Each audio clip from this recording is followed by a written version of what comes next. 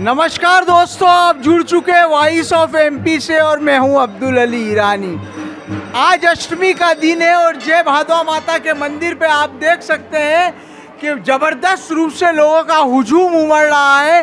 काफ़ी संख्या में दर्शनार्थी यहाँ पर आए हुए हैं, जो भादवा माता के दर्शन करने के लिए आतुर है। इन लोगों के दिल में, मन में कई तरह की मुरादें हैं, कई तरह की मन्नत है और भादवा माता को ये सभी लोग बड़ा चमत्कारिक स्थान मानते हैं। पूरी दुनिया, पूरे संसार के लोग इस स्थान को चमत्कारिक मानते हैं। मेरे साथ मौजूद है, कई लोग आइए इनसे बात करते हैं। माँ भादवा माता के लिए क्या क्या कहेंगे बाबू जी भादवा माता के लिए? है?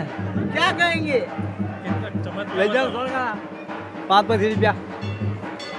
हम हर साल आते हैं यहाँ पे दर्शन के लिए और बहुत सारे चमत्कार हैं माता जी के। मम्मी पापा को भी लेके आते हैं हर साल बहुत दूर दूर से लोग आते हैं दर्शन के लिए। क्या चमत्कार है क्या खास बात है? वैसे यहाँ पे वैसे तो मान्यता है कि जो भी लकमे के पेशेंट रहते हैं मरीज़ रहते हैं उनका लकमा दूर हो जाता है। ये चमत्कार तो यहाँ देखने को मिलता है। हर साल आते हैं अष्टमी के दिन भादा माता। बहुत अच्छा पर्चा है इधर भादा माता रानी का। कितने टाइम से आ रहे हैं आप? और और पंद्रह बीस छोटे से आ रहे हैं हम तो बचपन से ही।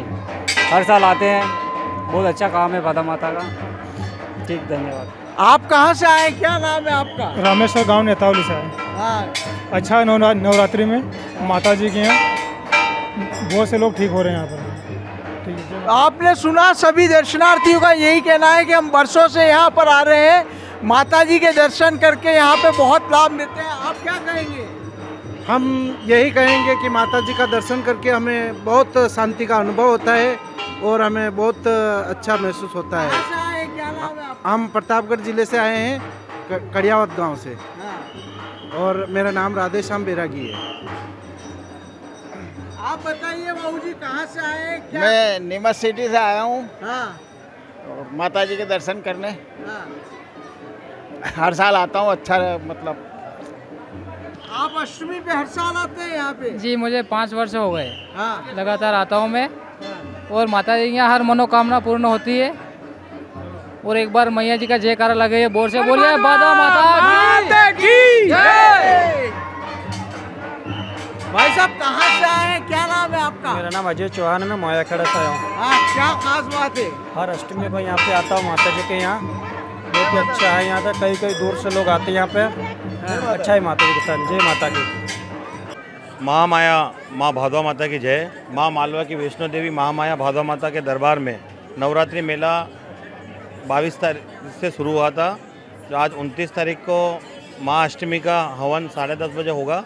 और ये भादवा माता संस्थान की तरफ़ से सारी व्यवस्थाएँ की जाती है। यात्रियों को सभी के द्वारा पानी की व्यवस्था है अन्य क्षेत्र की व्यवस्था है सारी व्यवस्था की जाती है। और क्या क्या आयोजन होंगे? कब तक लोग और पहुँचेंगे? कितने लोग पहुँचते हैं आज? आज अष्टमी को नीमच से मनासा से सभी जगह से लोग पैदल आते हैं। रात को माँ माँ के हवन में शामिल होते हैं और वापस ही बसों से या कई साधन से निकल जाते हैं। भादवा माता को चमत्कारिक स्थान माना जाता है। इनकी शान में क्या कहेंगे आप? माँ का रूप निराला है साहब। हमने तो ऐसे देखा है कि बिल्कुल चार चार पाँच पाँच जने तोक के लेके आते हैं वो हाथों हाथ चल के जाते हैं। और यहाँ के भभूति पानी और कुछ नहीं करना तेल की मालिश ये करने से ही माता जी सब दूर लखवे का रोग और सब रोग दूर करती है।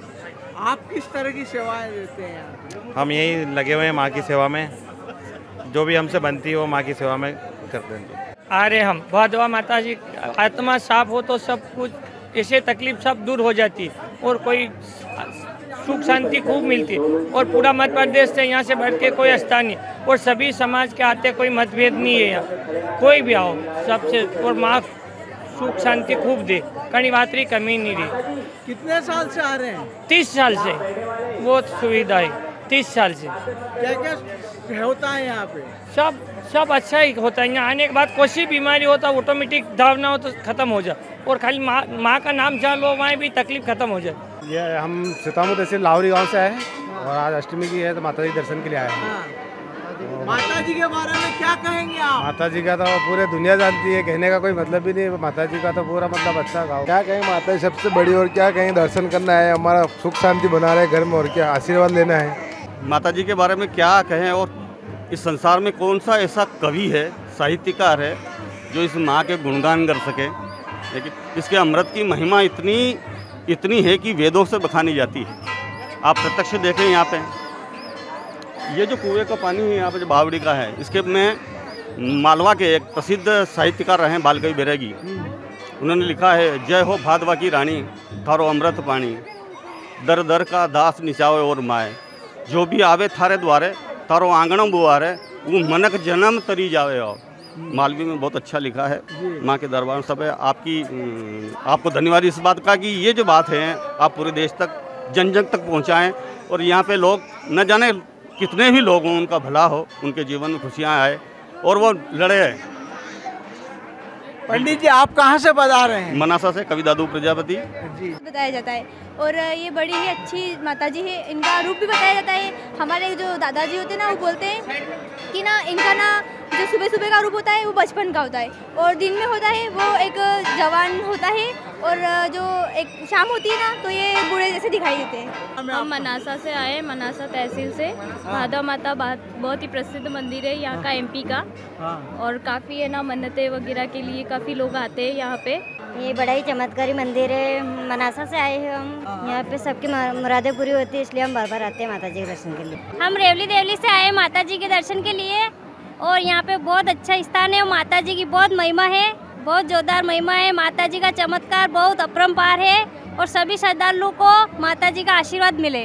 का अवसर है भारी भीड़ आ रही है। भादवा माता के लिए आप यहाँ सेवा में हैं, पूजा में क्या कहेंगे आप? आस्था का सैलाब है और बहुत पब्लिक आ रही है माता रानी मनोकामना सबकी पूर्ण कर रही है और आज अष्टमी हो गई है। आज कितने लोग आते होंगे आपके हिसाब से? आज करीब करीब तीन चार लाख लोग तो आएँगे ही आएँगे। रात में भीड़ बढ़ जाएगी और कल नवमी तक भी चलेगा। माता रानी का क्या आशीर्वाद लोगों को मिलता है? कितनी कृपा है। बहुत आशीर्वाद है। अंधों को आँखें मिलती है। आ, किसी को लकवा हो जाता है तो लकवा ठीक हो जाता है। और माता रानी किसी की गोद भराई कराते हैं तो उनको बच्चा देती है। तो सभी मनोकामना माता रानी पूर्ण करती है। भादव माता के यहाँ हम आते हैं। हमें यहाँ मतलब सुकून मिलता है। यहाँ मरीज़ ठीक होते हैं और अच्छा लगता है यहाँ पे। आने से संतोष और शरीर में संतोषपन आता है इस यहाँ से और मन में शांति मिलती है और बढ़िया लगता है। कितने टाइम से आ रहे हैं? कहाँ से आए हैं आप?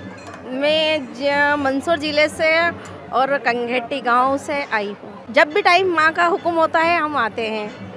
आपने देखा कि किस तरह से भक्त पूरी श्रद्धा के साथ यहाँ पर उमड़ रहे हैं।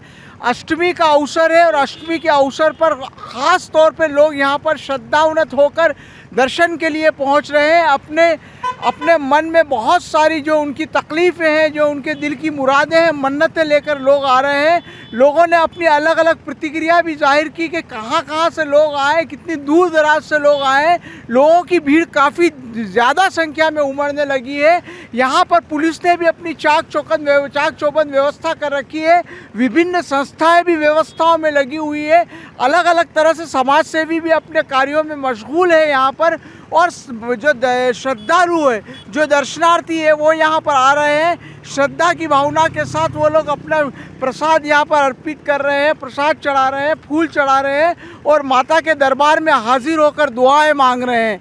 आपने देखा किस कदर लोगों के अंदर उत्साह और जोश है। वॉइस ऑफ़ एमपी के लिए मेरे सहयोगी पवन राव शिंदे के साथ अब्दुल अली ईरानी।